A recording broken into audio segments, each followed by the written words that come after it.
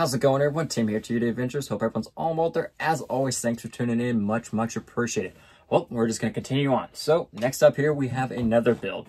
So this here's kind of a fun one. Um, I have a friend in uh, Oklahoma that we crawl with on a regular basis, and he has been working on a chassis for uh, quite a little bit, um, getting stuff cut, getting some designs, getting plenty of testing and everything done, um, and has finally um, kind of made it uh, available to the public. So um, I was able to uh, snag one and get everything going. So this here is the Lemming chassis. Um, build, and honestly, I've had an absolute blast with this one. Everything on this build has been pretty fun um, and have been able to take it out and honestly it had it was pretty killer. I'm definitely excited for it and everything like that. Again i'll link um, everything down below um, in the description minus the chassis. Um, currently that is just available um, through him uh, through facebook and messenger and stuff like that. There is a can't remember i'll double check see if he has a page set up uh, for the chassis or not um, at this point. But once something um, becomes more, I can link that down below and stuff like that. We'll just kind of work our way again, down from top to bottom. Uh, and again, familiar body here. This is the J Concept Stage Killah body. Just really like this body uh, for like these shooter builds and all the comps and everything that I have scheduled because very laid back on rules. Don't have to worry about points and stuff like that. So nice, narrow, lightweight body is what we go for. Um, if you notice there, the body clip system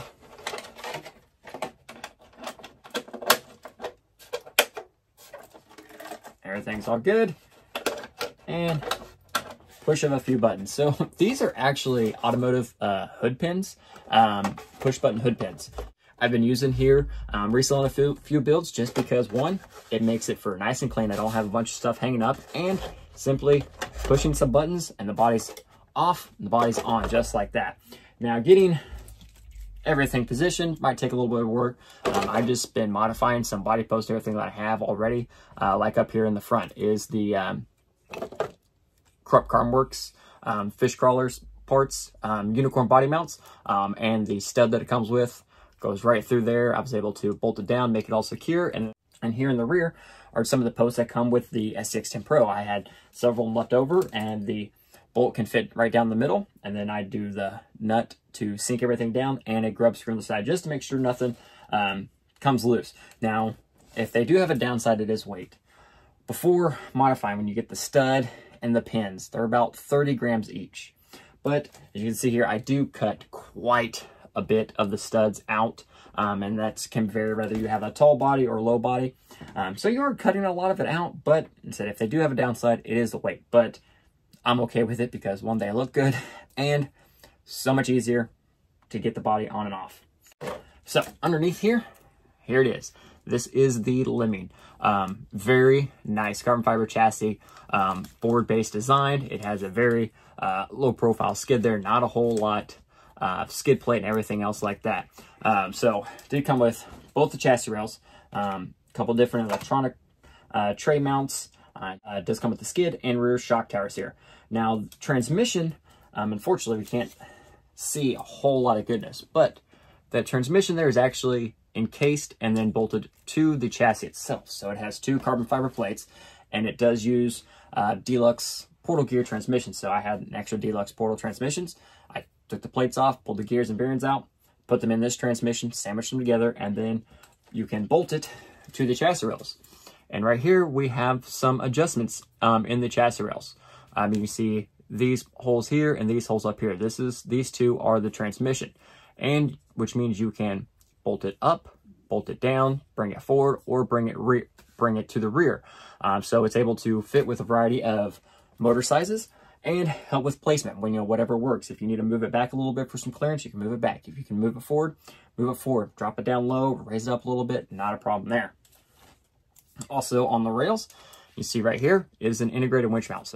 So there's one on each side of the rails and I have my uh, Atlas Pro in on this side right now. I will add a second winch for the rear um, here later on. I just haven't got around to it yet, but I was like, at least I have a front winch, so we'll be good to go there.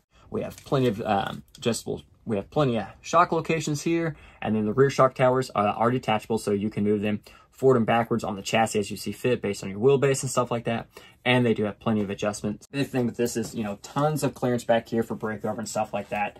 Um, and you see, and even mine, my links aren't bent as much as I could bend them, but turns out I am not very, very good at making my own really long bent links. Um, I actually messed up two or three sets of titanium links before I just gave up and was like, okay, this works.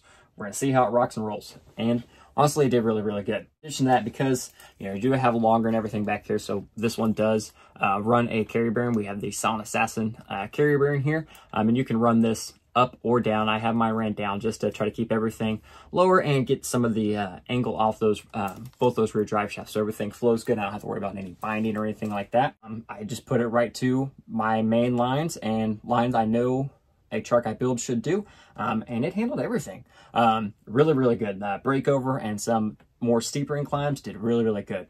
And side hill on this um, was also very good. So definitely happy with this ability to do both. You know, have some side hill and be able to handle some extreme breakover and some inclines. Because that's one area, yeah, I do travel on comp a lot, but I spend 90% of my crawling time at my local area. And we have lots of breakover, you know, steep ledges and stuff like that. So I tend, I want a chassis that I drive on a regular basis to definitely be able to handle my area. So that is why I, again, I favor Ford-based chassis and the breakover because it benefits me in my area the most. Then from chassis uh, down to the shocks there, I have some uh, 80 millimeter uh, Dlux uh, shocks there. So this is their ultra short. I also have the three millimeter spaces in there. So they're brought down just a little bit lower even. Um, and they did good. Everything there was on point.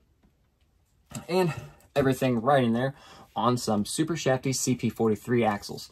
Um, very nice. Uh, this is actually the first set that I've actually got all done, fully built and everything. Super excited. Um, they look and feel fabulous. Uh, width-wise, they're in between an AR45 portal axle and a Capra axle. So, uh, and I like that width a lot. It suits me and my driving style and everything really, really good. I think it's a good, happy medium. Plus, I can, with wheels and hubs, I can bring offsets in and out if I need to. If I need to go a touch wider or a touch narrower, I can still get the overall track width um, down if I need to. And these axles do accommodate for um, chassis mounted servo option. They have panhard or with ax servo behind axle. So right here on mine, servo behind axle. Um, and I do have a just a small two, three millimeter spacer under the servo just to bring it up a little bit so I don't have much of anything there blocking. The servo's not hanging down.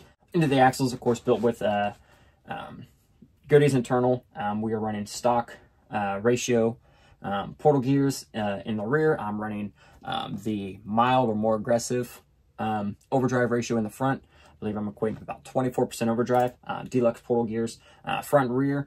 Um, and then I'm also running the newer uh, Dlux heavy brass outer portal covers, which weigh about, I think they're four, maybe five ounces each. So um, I think they're the heaviest portal cover for that style um, on the market right now.